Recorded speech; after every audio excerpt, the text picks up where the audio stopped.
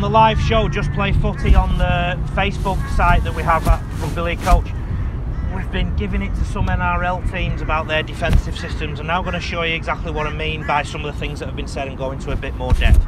The first thing I've spoken about is spacings. I've got my three defenders here, Connor, Phoenix and Zach.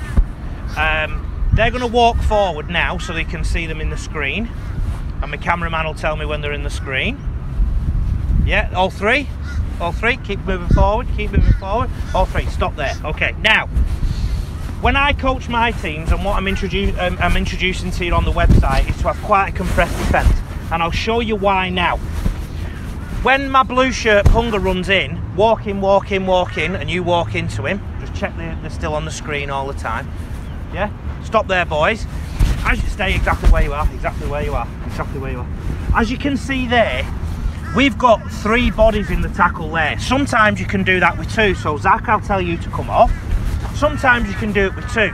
So when I was talking about the Broncos the other day, they were doing it with three, and then after 20 minutes, they came away and did it with two, right? But because their bodies are so tight, as you can see, my blue shirt can't get through there. If they're good tackles, they're good shoulder S-shaped body studs in the ground tackles, which they're not, by the way. But if they were, he'd have real trouble getting through there. What I'm seeing a lot in the NRL and Super League at the minute, though, is this. So, boys, if you can all go back to where we started, and we'll do the same exercise again, but we'll do it slightly differently. That's all right. They can be out the screen now. The cameramen are just too good. This time you're going to start really wide. So you go wider, wider. Connor, you go wider. You go the other side of the camera if you need to. Okay. What I'm seeing a lot in the NRL is this kind of width. Sometimes it's a bit less than this, but this is probably the maximum.